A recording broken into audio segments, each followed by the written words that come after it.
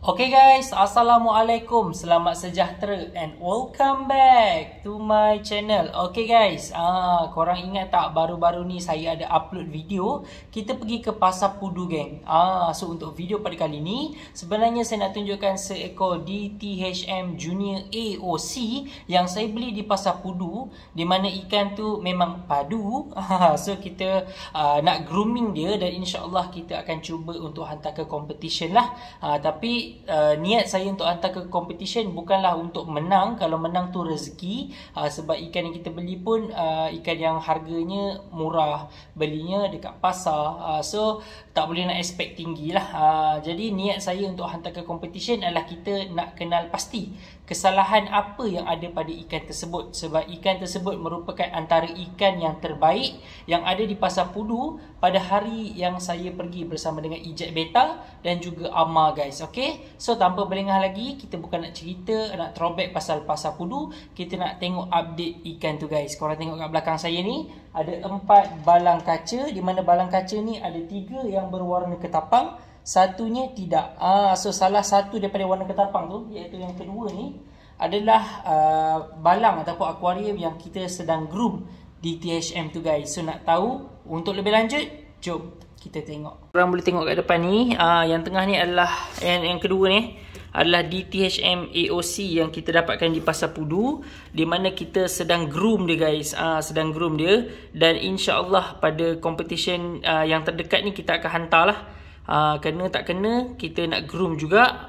Uh, dan insyaallah habis competition tu pun kita akan groom lagi groom lagi. Yang kita nak keep tengok perubahan yang mungkin ada pada ikan ni selepas kita groom untuk tempoh masa yang lama. So guys kalau korang tengok air dia agak gelap. Saya guna apa geng? Saya guna pati ketapang ketapang jahat. Ah ha, produk yang saya jual dekat Shopee saya tu geng kalau korang nak try korang boleh try. Pakai sikit pun dah gelap guys. Dah padu dah. So korang kena cuba okey? Ha ni saya pakai sikit je dan ketapang jahat ni guys okey? So ni dia guys ikannya. So kita bukan nak uh, sembang pasal ikan ni dulu.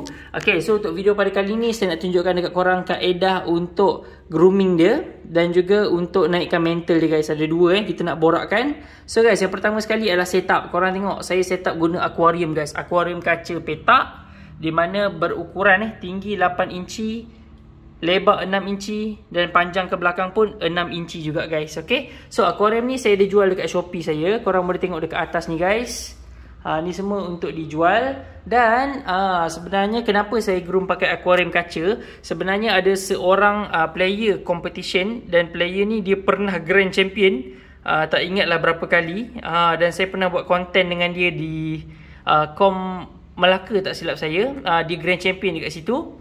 So guys Dia ajar dekat saya. Dia kata Kalau boleh groom pakai Balang kaca guys. Dia kata kat rumah dia Semua dia groom pakai balang kaca uh, Dan juga Ni lah groom je dalam balang kaca. Kebiasaannya untuk long fin. Untuk half moon ke DTHM ke Memang dia recommend pakai bekas yang petak Dan balang kaca lah. Uh, Dia kata berbeza sangat Kalau nak banding dengan groom dekat dalam SU tank uh, tak pastilah kan. Mungkin dia punya grooming tu lebih premium. Uh, saya pun tak tahu nak cakap. Uh, tapi ini recommendation daripada dia. Uh, dia pun lebih berpengalaman untuk grooming dan competition. So kita try kaedah dia guys okay dan seterusnya saya nak sharekan dekat korang dari segi apa tau guys? Dari segi uh, kita nak kata naikkan mental dia guys. So naikkan mental kalau korang tengok video saya sebelum ni, saya ada ajarkan korang cara untuk naikkan mental ikan. Ada tiga cara iaitu melatih dengan cermin. Lepas tu gunakan uh, uh, apa? Gunakan stick. Okay, contoh eh. Uh, gunakan stick dan juga gunakan jari guys. Okay, ada tiga cara. So, untuk video kali ni saya nak tunjukkan dekat korang satu lagi cara. Di mana bukan sahaja untuk naikkan mental tetapi untuk uh, kuatkan lagi finish dia guys. Okay, so korang tengok ni guys. Okay guys, ah kali ni saya nak tunjukkan dekat korang cara eh dua benda yang kita boleh buat. Yang pertama untuk menggarangkan dia. Ah lepas tu uh, untuk bukaan ekor pun jadi lebih baik guys. Okey. Kita nak bagi garang, kita nak bagi bukaan ekor jadi lebih baik. Ah jadi latihan ni sangat-sangat bagus bukan sahaja untuk DTHM tetapi untuk ikan-ikan jenis crown tail, half moon boleh diterapkan guys. Okey guys, korang tengok dalam akuarium tu. Korang perasan tak kat tengah-tengah tu ada botol guys. Ah jadi korang letak botol yang kita dah tebuk lubang dan kita letak di tengah-tengah akuarium dan korang boleh masukkan ikan laga betina kat dalam tu guys. Ah, so sekarang ni korang boleh tengok dia bertindak balas dengan ikan laga betina tu, dia mengelilingi ah botol tersebut. Jadi, ah bila kita buat latihan flaring macam ni, so dia akan ah, meningkatkan mental ikan bila dia nampak betina dan yang kedua dia akan mencantikkan lagi eh bukaan finish. Ah dia akan jadi lebih ah, tegang, lebih besar Uh, tetapi sepanjang kita buat kaedah grooming ni kena perhatikanlah uh, sebab kita risau uh, contohlah eh uh, betina tu terlepas daripada botol ke apa ke kan. Uh, jadi mungkin boleh terbaik tail terkoyak ekor. So korang kena perhatikanlah. Uh, sebab bila kita dah tebuk bahagian bawah botol tu kita dah gunting bahagian bawah tu uh, jadi mungkin dia macam senang terangkat. Uh, dan latihan ni pun korang jangan dibiarkan lama sangat lah kalau boleh buat dalam tempoh masa 10 hingga 15 minit saja guys. Ha tu pun dah kira lama dah. Ha so latihan ni memang sangat-sangat bagus bukan sahaja untuk kom eh tetapi untuk uh, dia apa kehidupan seharian ni pun elok. Uh, dia pun meningkatkan lagi ikan jantan ni untuk buat buih guys. Ha bila dia nampak betina kan. So uh, selain pada finish untuk pembuatan buih pun boleh meningkatkan uh, hasil lah jadi lebih baik. Ha, so korang tengok ni guys. Bukaan ekor dia sangat-sangat baik Sangat-sangat bagus. Sampaikan saya pening. Nak hantar ikan ni ke kelas AOC junior Ataupun nak hantar ke kelas junior form and finish. Ha, Tengok form and finish dia sangat-sangat bagus. Korang tengok dorsal dia.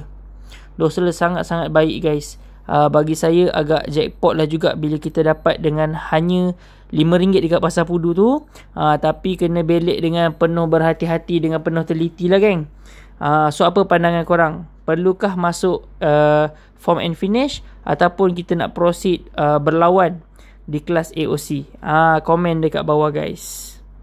Guys, ah korang amalkan apa yang saya tunjukkan tu, insya-Allah boleh uh, improve lah korang punya finish dan juga mental ikan tersebut. Uh, pastikan korang boleh tebuk macam ni lah. Uh, macam ni. Macam ni letak kat tengah-tengah guys. Ah tengah-tengah kan. Supaya ikan tu boleh keliling kan. Dia boleh pusing pusing pusing. Dan korang letak ikan reject pun tak apa. Ha, tapi sebaiknya betina. Kalau dapat maskot lagi bagus guys guys nampaknya sekian itu saja untuk video pada kali ini. Macam yang saya sebutkan tadi guys kita tak letakkan harapan yang tinggi untuk ikan ni. Uh, tetapi berdasarkan mata ijat beta dia kata ikan ni boleh dicuba. Uh, cumanya dia kata warna dah agak common. Mungkin senang dijumpai di competition. Uh, tapi bila dia kata boleh try tu yang menyebabkan saya terbuka hati nak cuba juga sebenarnya. So kita groom lah eh, bila ijat kata mungkin warna dia tak terlalu wow so kita cubalah groom. Mana tahu boleh jadi lebih wow ataupun akan jadi lebih teruk. Uh, tetapi bila kita cakap pasal AOC, dia tak ada istilah lebih teruk. Uh, dia sama ada biasa ataupun wow. Uh, contohlah, eh, contohnya finish ikan ni tiba-tiba naik selo banyak. Uh, kalau naik selo banyak pun tak semestinya teruk. Mungkin nampak unik uh, sebab competition untuk AOC kategori unique color warna mesti unik. Tak kisahlah tak seimbang ke pelik ke. Ha, lagi pelik lagi bagus guys. Okay so itu saja untuk video pada kali ini. Terima kasih kepada korang yang menonton. Insyaallah nanti saya updatekan ikan ni mungkin dari masa ke masa condition dia dekat competition ke apa resultnya dan apa yang penting saya nak tahu tu guys. Kertas tu. Kesalahan ikan ni guys. Kita nak belajar sama-sama. Okay guys, so itu saja. Don't forget to like, share and subscribe my channel. InsyaAllah guys, kita jumpa pada video akan datang dengan konten yang menarik, perkongsian yang bermanfaat hanya di channel Lukman Jazid. Terima kasih kerana menonton. Assalamualaikum. Bye. See you next video. Yang tengok video saya sampai habis, saya ada satu pantun untuk korang. Cuaca panas, minum selasih. Korang, terima kasih. Jumpa lagi pada video akan datang. Assalamualaikum.